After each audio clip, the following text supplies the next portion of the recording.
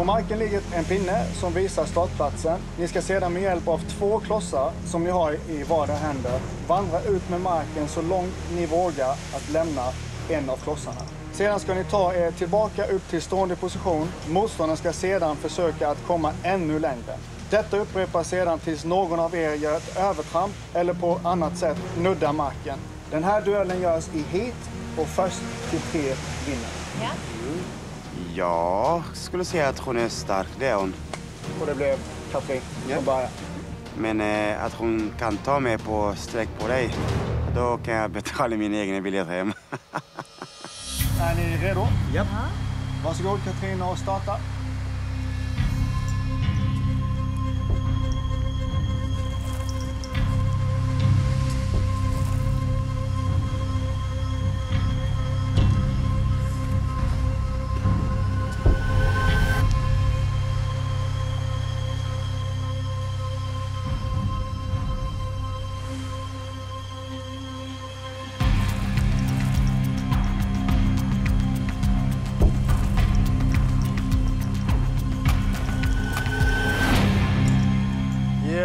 Det var ett poäng till herr eh, Nilsson. Eh, det var övertramp.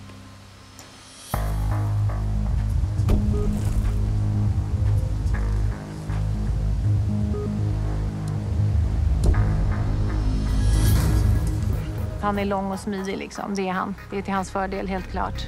Kom igen nu. Fan. Nu kör vi liksom.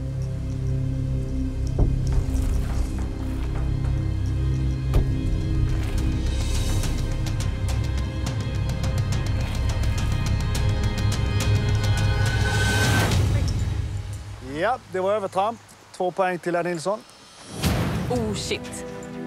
Det är ju inte jättekul att stå och titta på när Katrin eventuellt förlorar liksom. Men även om oddsen är helt emot den så ger man sig ju inte. Man kämpar ju allt man kan ändå. Hon vill ju absolut inte förlora liksom. Hon vill vara kvar här.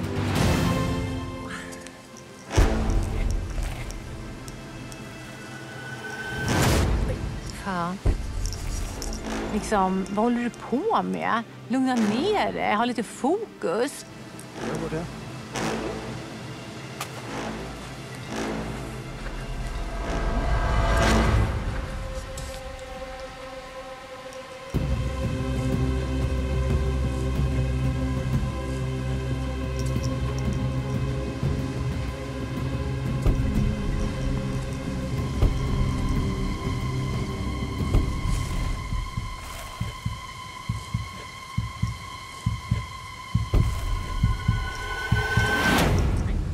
Och där var det avgjort.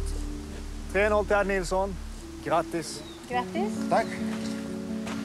Jag har nog aldrig upplevt en sån besvikelse. Att situationen blev som den blev tycker jag är mm, tråkigt. Tack, jobbat. För Nick Gill, vi gick det bra till en början. Men att Nilsson har kommit in och tagit över och härskar verkligen. Och de andra två hakar på, Peter och eh, Nick som två hundvalpar. Ses. Ja. Fan dig.